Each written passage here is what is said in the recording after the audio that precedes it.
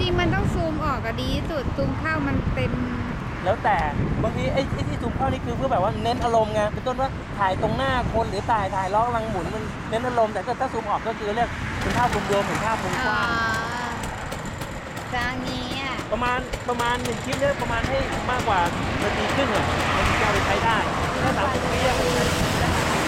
อ๋อเต็มที่กี่นาที เต็มที่เหรอก็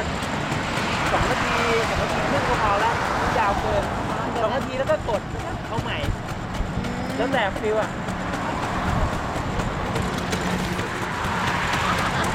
เริ่มแบบไม่ไหวแล้วเนี่ยยกขาก็ไปอ่าอันเนี้ยถ่ายมาตั้งแต่ตอนเนี้ยเลยถ่ายตะก๊อปเนี่ยแหละไม่ต้องถ่ายใครหรอกโอเคถ่ายแล้วเป็นไงบ้างครับคุณก๊อฟโอ้